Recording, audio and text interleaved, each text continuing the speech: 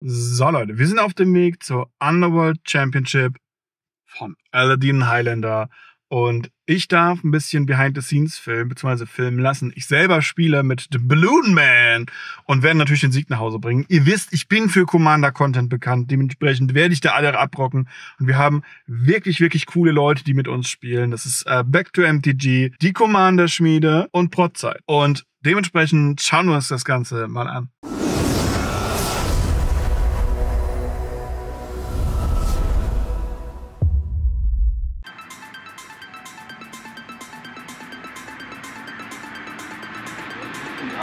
Marc, grüß dich, na, komm rein.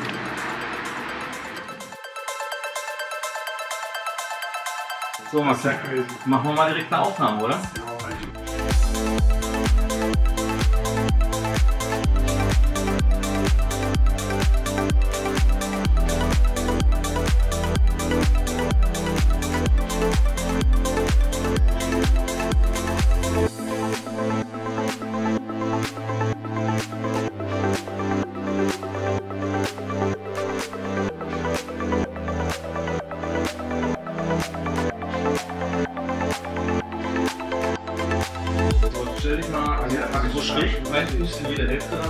da. Nee, Ja,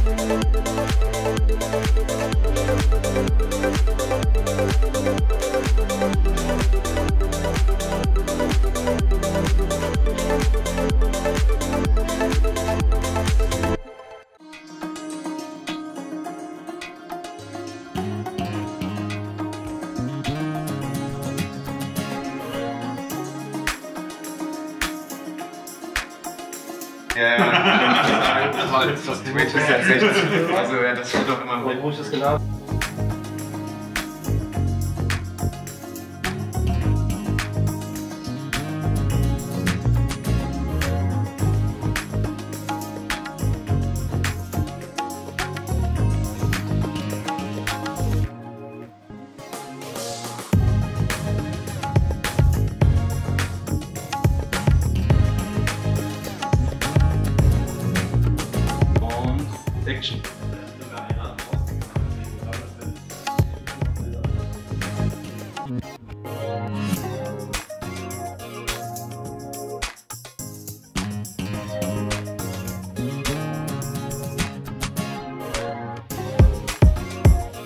Okay, das wie, wie werde ich, wie werde ich reich und Wie werde ich vom Kopf? Die haben mich verarscht. Genau, überweis bitte 1000 Euro an diese Adresse im Monat.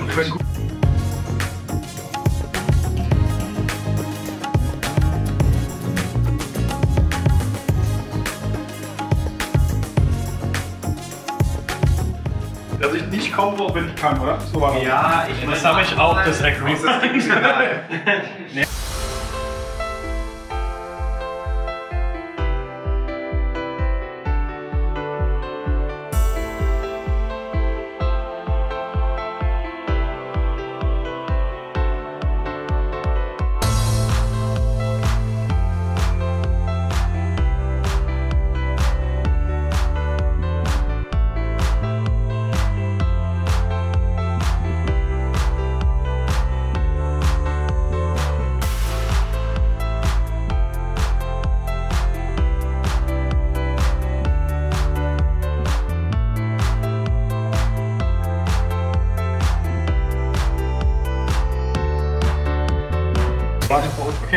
Wenn nur am tiefsten. Also Ja, dann machen wir es jetzt so. Schade.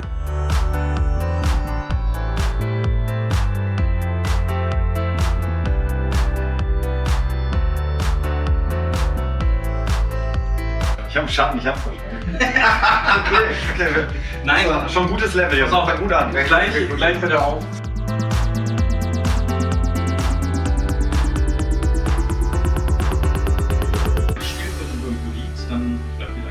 Liegen. Der innere Monk. Oh, Ja, da müsst ihr, ohne Scheiß, weil das sind Sachen, die kann ich nachher nicht schneiden. Weil sonst hast du nachher dann immer Spielfelder, wo die Karten auf einmal alle so hin und her flippen. Oder schlimmer, das ist die Hände. Und äh, man sieht die Händler genau. Ich will halt nicht.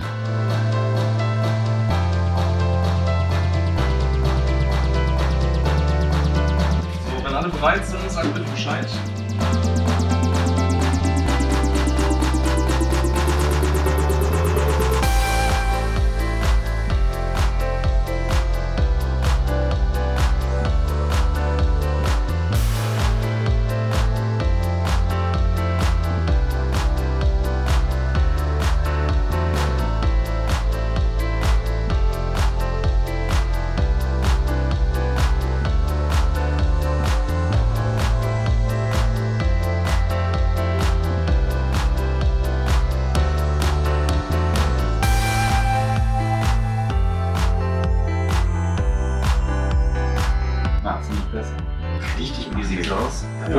Schlimm. Dann ist ja richtig. Was macht der Ballonmann?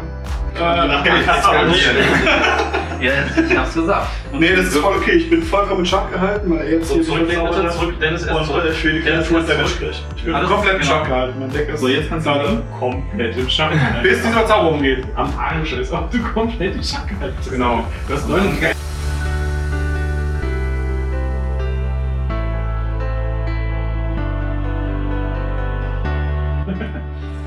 Nicht. würde ich gerne den. Jolly Balloon aktivieren und meinen Vintage Bearwinner komplett aktivieren. Und er deckt sie wieder auf, ne?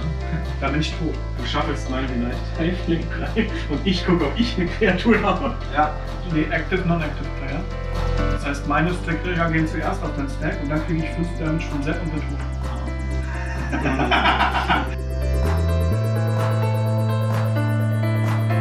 Was passiert, dann ist ausgetappt. Mein Zug ist auch eigentlich vorbei. Ja. Wir haben beide zwei Lebenspunkte und du darfst in dein, Ja, in dein Ende ziehen. Aber du darfst ja nochmal enttappen. Antep, Anteppen darfst du ja. Unset, Upkeep, tot. genau, ich habe keine, keine Instant. Das ist wirklich Untap. Warte. Dann bin ich wieder zurück. Upkeep, tot. Warte mal, müssen wir jetzt so machen? Ja. Wie, wie machen wir das? Wow, not bad.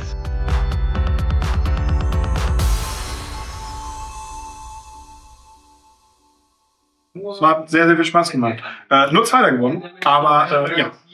Das werdet ihr ja sehen. Und äh, wir machen jetzt noch eine zweite Runde. Aber dazu spoilere ich gleich. So, ich habe mir den Sepp noch hier reingeholt. Und wir haben unter anderem gerade eben gespielt.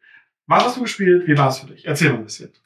Ja, wir sind ähm, bei, bei Tobi, bei LRD und Highlander eingeladen und ähm, durften ein cooles Format spielen, haben zu viert Commander gespielt. Ähm, war für mich sehr random und spontan. Ich wurde gestern Abend gefragt, ob ich rumkommen kann. Du warst unser Ersatzmann. Genau, ich war Ersatzmann für Marvin. Schöne Grüße auch an dieser Stelle. Yes. Vielen Dank, dass ich den Platz einnehmen durfte. Ähm, Es hat mir sehr viel Spaß gemacht.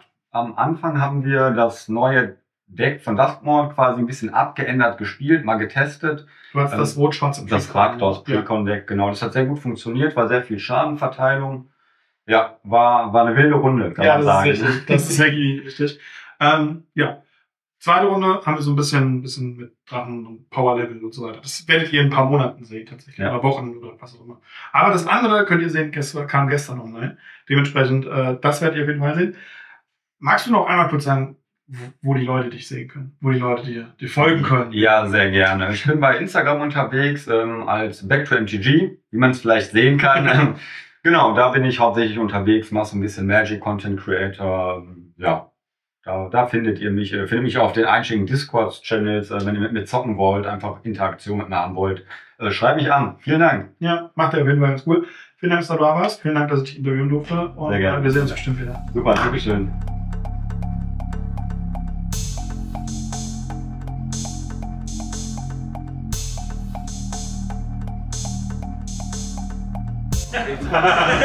Das hat eben schon so gut funktioniert. Dann Handkarten auf die Hand nehmen. ich würde den dann direkt cracken. Soll ich das auch machen? Jetzt ist erstmal ein. Sonst vertan. Ich darf nicht. Hausruhe Fashion ist nicht mehr. Ja, keiner.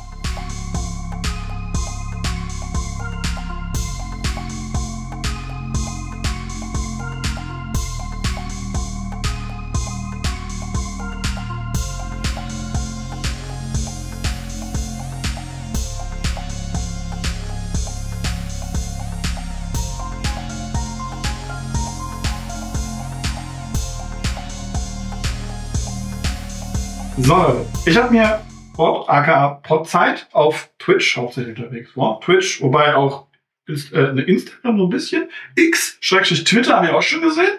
Also eigentlich überall, eigentlich überall. Ihr könnt, könnt folgen. Guter Mann, guter Mann, netter Mann. Und äh, ja, erzähl mal, wie war deine Erfahrung? Wie fandest du es hier? Äh, was hast du gespielt? Wie war es so für dich? Ja, die Erfahrung war, äh, dabei sein ist alles. ich habe zweimal mitgespielt und zweimal bin ich als erstes rausgegangen. Aber ähm, das hat der Unterhaltung und dem Spaß Fall keinen Abbruch getan. Nee, das war ich. Äh, hervorragende Leute dabei, äh, spannende Commander Ja. und äh, auch trotzdem spannende Spiele. Also von daher Grund, äh, von Grund auf super Tag. Ja, nee, das freut mich, das ist schon mal gut. Wo von, von der Umgebung her, ich habe gerade eben schon gesagt, Professionalität wird hier ja mehr als groß geschrieben, habe ich festgestellt. Das Auf ist. Wahnsinn. Also habe ich nicht schon vorgestellt. Ich kenne Tobi ja schon länger. Ich wusste, dass das schon, schon auch so hart betreibt. Das ist wirklich crazy. Äh, Das machst du jetzt auch so, oder? Absolut, absolut. Ja. Also davon kann man sich auf jeden Fall eine Scheibe abschneiden Oh ja. und äh, also Viel wirklich Daumen hoch. Ja, absolut. Ja, vielen Dank, dass du da warst. Und äh, wie gesagt, abonnieren und so. Da, da, da.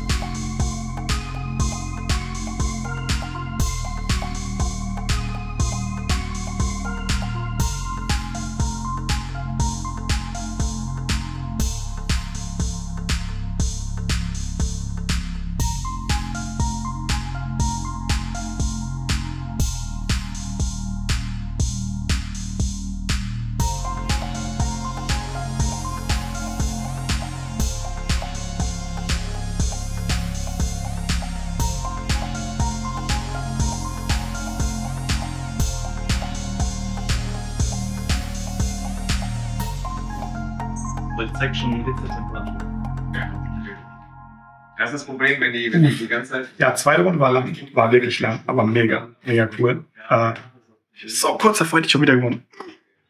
Jedes Mal so kurz davor. Nein, passiert. So, ich habe mir den Alex, aka die Commander-Schmiede, reingeholt. Man kennt dich ja hauptsächlich über Instagram. Da bist du ja hauptsächlich unterwegs. Ähm, Fast ausschließlich. was hast du gespielt? Wie fandest du es? Was war dein Highlight? Außer, dass du gewonnen hast an der Runde. Ja, der Sieg! Nein, ähm, tatsächlich, in der ersten Runde hatten wir dieses ähm, Dustmon Command. Ja. Da habe ich Winter gespielt, Mhm. ähm, den juntfarbenen Winter. Der, und der so ein bisschen auf Wheel-Mechaniken, so wie Neko sah, nur halt eben in Junt, was ich sehr angenehm fand. Mhm. Also ich hatte ja ein sehr kleines Board, aber habe irgendwie, Den meisten Damage gemacht. aber hab trotzdem verloren. Ähm, Haben wir alle. Haben wir alle bestimmt. Bis auf einen. wir hätten den Draw erreichen können. Wir hätten den Draw erreicht, Aber wenn, wenn, wir, wenn ich nachgedacht hätte. Ich habe nicht nachgedacht. Hätten wir mehr dafür gekämpft. Ja, wir hätten, wir hätten mehr nachdenken müssen. Also ich vor allem. Tun wir nicht. Tun wir selten. Ja, das ist richtig. Nee, genau, äh, das fand ich aber sehr cool. Das hat mir sehr viel Spaß gemacht, den äh, Winter zu spielen. Ja. Deswegen hatte ich ihn ja gepickt, weil ich dachte, ah, der könnte mir Spaß bringen, Mhm. dass er das gemacht hat. Wahrscheinlich werde ich den jetzt sogar auch als erste, erstes Budget-Deck für Duskmon nehmen. Ja. Ähm, und Könnt ihr auf Instagram sehen. Dann wahrscheinlich sogar auch mal wieder eins kaufen. Ah. Obwohl ja, den Dragonhawk habe ich ja letztes äh, wurscht. Auf jeden Fall, ähm, und im zweiten Spiel habe ich Myrin gespielt, was ja komplett eskaliert ist auf einem gewissen Punkt. Ganz viele schöne Drachentoken, Gegner ins Gesicht hauen und dann am Ende sogar gewonnen mit immens viel Schaden. Ja, wir haben aufgehört zu zählen. Wir haben gesagt, aufgehört Commander zu Damage zählen. reicht, aber das andere ist mindestens dreistellig, fast vierstellig. Das war gut. Fast. Ja. Äh, und aber was ich viel, was mein Highlight so bisschen ist, ist, dass die anderen zwei Spieler halt durch ihre eine, der eine Ring gestorben sind. Schlechte Karte, spielt hier einfach nicht Spielt hier. Commander, ist ganz Ganz schlecht. wurscht. Gibt sie Äh, uns. Äh, äh, was? nee, äh, Ja. das hat mir, also das fand ich einfach einen coolen Moment, dann zu sagen, Ja. okay, ich hau dich für so viel, dass du nur noch drei hast. Oh, okay, bist du tot. das war extrem geil. Ansonsten hat mir aber so die Dynamik extrem viel Spaß Ja. gemacht. Gerade auch das hier sein, die Einladung hat mich mega gefreut. Ist krass professionell aufgezogen, das muss Mhm. man echt sagen. Also wie Tobi das macht, das ist, Ja.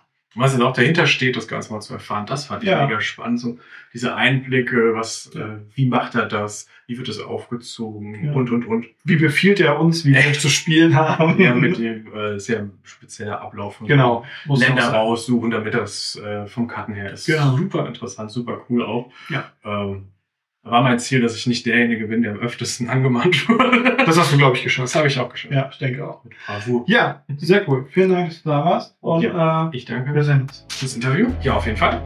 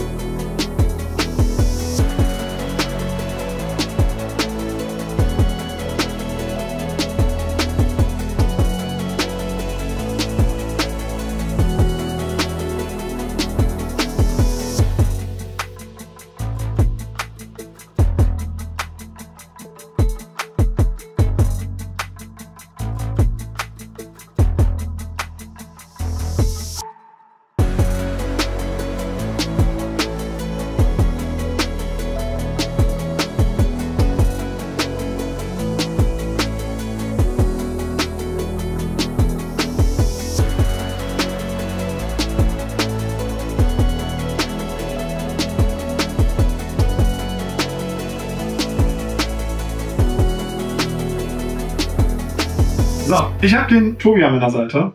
Von Elder Demon Highlander. Die Leute, die sich immer reingeschlichen haben, dabei in die Köpfe. Niemand sagt mehr Dragon Highlander. Alle sagen nur Elder Demon Highlander. Und zu Recht. Äh, erstmal vielen, vielen Dank, dass ich da sein durfte. Vielen Dank für die Einladung. Das war echt mega. Ich kann dir sagen, alle waren sehr, sehr begeistert und haben auch gerade eben alle mit dem beteuert, wie professionell und krass das einfach ist, was du hier aufgezogen hast. Deswegen Danke, an der. Stelle wirklich Ja, danke, dass du gekommen bist. ja, sehr, sehr gerne. Wie war es für dich? Ich meine, das ist jetzt nicht das erste Mal, du machst das ja, in der zweiten Season mit elendig vielen Aufnahmen schon und so weiter und so fort. Aber wie war es für dich? Wie ist es generell so, das, das Format und so weiter für dich? Ja, also für mich war es heute eigentlich ein relativ entspannter Tag. Also das Ganze hat für, für mich ja schon um 11 Uhr angefangen Hm. und ging jetzt bis äh, 16.30 Uhr ungefähr, nur damit man so ungefähr mal weiß, wie lange so ein Drehtag auch dauert. schon lange. Und ähm, ja, für mich ist das Stressige immer die Vorbereitung zu dem Ganzen. Mittlerweile ist das so, dass wir die Prozesse während des Drehtages so ein bisschen kennen und wissen, was da auf uns zukommt. Aber ja, die Vorbereitung, die Spieler zusammenzukriegen, die, die vier Commander-Spieler, das ist immer eine schwierige Sache. Mhm. Was man nicht glauben mag. Ja. eigentlich. Weil meist denkt man sich, ja, man sagt Commander-Spiel und irgendwie 20 Leute ploppen Ja. auf. Aber die müssen dann auch einen Tag Zeit haben. Ja, definitiv. Und was wir vorhatten, war jetzt auch in der zweiten Staffel, dass wir die Varianz der Spieler ein bisschen Mhm. hochhalten. Also, dass in jedem Match andere Leute immer auftreten. Und der Yannick zum Beispiel, der macht immer für uns die ganzen Decklisten und die ganzen Krass, Decks. Decklisten. Und ähm, ja, der ist so ein Produktionsteam mit dabei und der spielt natürlich auch mal gerne. Wir hatten jetzt eine Absage von jemandem und äh, Back to MTG ist jetzt natürlich Gott sei Dank eingesprungen. Aber wäre er nicht, äh, hätten wir keinen Spieler gefunden, der einspringt, hätte Yannick wieder gespielt. Mhm. Und Der hat äh, ja das letztes Mal. ja, genau. Und ähm, wir haben jetzt diesmal eine Doppelfolge aufgezeichnet. Und es steht schon fest, dass er in der nächsten Folge auch mitspielt, weil da machen wir ein Commander-Turnier. Und das hieße, er hätte bei fünf von sieben Folgen halt Oh, mitgemacht. Ja. Und das ist einfach dann viel und dann ist das nicht so schön für die Zuschauer immer, Mhm. Immer den oder einen gleichen dabei zu haben. Außer man fiebert dann nur noch für den. Ja, genau. Aber der gewinnt halt auch. Der spielt gut und gewinnt auch viel. Und Ja, äh, Fanfavorite. ja, Wir kreieren Helden. genau. Nein, Und, aber das verstehen. genau, und deshalb äh, ist das immer ganz cool, wenn dann äh, ja gerade auch so Content Creator mal zusammenkommen und so, wie in dieser Folge, da freue ich Ja. mich auch schon ziemlich drauf. Äh, wenn die fertig ist. Ja. Ja. weil jetzt ähm, geht das Ganze, Jetzt gibt deine eigene Arbeit nochmal. jetzt, jetzt ist alles abgedreht, jedes äh, Asset ist gedreht und ähm, ja, nächste Woche Freitag soll das Video online gehen. Am Donnerstag kann ich dann mit Steffen hoffentlich die Moderation machen. Und das bedeutet, am Mittwoch muss das Video fertig sein, zumindest vom, von der Boardcam. Und das heißt, jetzt Montag bis Mittwoch sitze ich abends hier und schneide zwei, drei Stunden, damit dann jede Karte sitzt, jeder Schnitt ist, die größten Lücken rausgeschnitten sind, damit man das natürlich so gut wie möglich sich anschauen kann. Ja, krass. Ja, wie gesagt, auch vielen, vielen Dank, dass, Ja. dass du so- solche Arbeit aufnimmst, weil Gerne. das Ergebnis lässt sich wirklich, wirklich sehen. Ich hoffe, ihr habt es schon gesehen. Wenn nicht, unten in der Videobeschreibung und auch am Ende der, der, des Videos wird es verlinkt sein, das Video, wo ich mit dabei war. Und ansonsten auch die anderen Videos. Wirklich, wirklich großartige Videos. Ihr werdet den Mann ja schon kennen, ihr werdet den Channel kennen. Einschalten und abonnieren. Genau. immer, immer machen. Daumen nach oben, Glocke aktivieren, Instagram folgen, was gibt's noch alles? das war's. Das war's, ja. So viel ist das nicht. Einmal mal machen. Nee, cool. Vielen, vielen Dank. Danke, dass du äh, gekommen Vielleicht bist. kriegen wir es ja nochmal. Ja, auf jeden Fall. Du bist gerne wieder eingeladen. Ja, crazy, crazy, crazy. Ihr habt ja gesehen, die Eindrücke gesehen. Das war mega. Es hat mega viel Spaß gemacht. Es war so, so schön. Es ist Commander, keine Frage. Ihr wisst, auf meinem Channel gibt's nicht ganz so viel Commander. Aber es macht immer wieder Spaß. Leute wie Protzeit, Back to MTG, Commander Schmiede oder eben die Jungs von Aladdin Highlander. So, so nette Menschen. Wir haben generell so ein Glück mit der Content Creator Szene und dass wir jetzt so eine Star Power da hatten, ist natürlich schon wirklich, wirklich mega. Und ja, zweimal so kurz vorm Gewinn. In dem Moment, wo ich gestorben wäre, die eine Runde später, hätte ich einfach gewinnen können. Also es war so, so knapp mit dem Duskmorn. Balloon Man ist der Shit. Balloon Man, also man kann den ja noch mehr auf Combo bauen, wie wir den jetzt gespielt haben. Und dann muss ich sagen, ist der richtig broken. Also ihr macht euch damit keine Freunde. Ihr habt gesehen, wie ich gestartet bin. Ihr macht euch damit nicht unbedingt Freunde. Mega geiles Deck. Balloon Man macht mega Spaß. Kann ich wirklich nur empfehlen. Aber es ist natürlich auch crazy stark vom Power Level her. In der zweiten Runde habe ich auch so knapp davor habe ich äh, ver verloren, verloren. Ich habe verloren, so knapp davor, dass ich gewonnen hätte. Äh, klassisches Commander, ja. Äh, aber man kennt das ja. Eine Runde mehr und ich hätte gewonnen. Aber Glückwunsch an dieser Stelle sowohl an Sepp als auch an Alex. Ihr habt das wirklich gut gemacht. Und ansonsten, wie gesagt, guckt das Video euch an von, von Elderdin Highlander, wie wir gespielt haben. Das war mega. Ich hoffe, ihr hattet Spaß. Wenn ja, Daumen nach oben da lassen, liken, abonnieren. Ihr kennt das alles. Das wäre super, super lieb. Vielen Dank. Das motiviert noch viel, viel mehr, mich solche Videos zu machen. Denn Vlogs sind aufwendig. Vlogs kosten echt viel Geld. Und äh, dementsprechend ist es immer schön, wenn man dafür ein Stück weit auch merkt, okay, die Leute finden es cool, die Leute mögen das und äh, nehmen das auch wieder mit.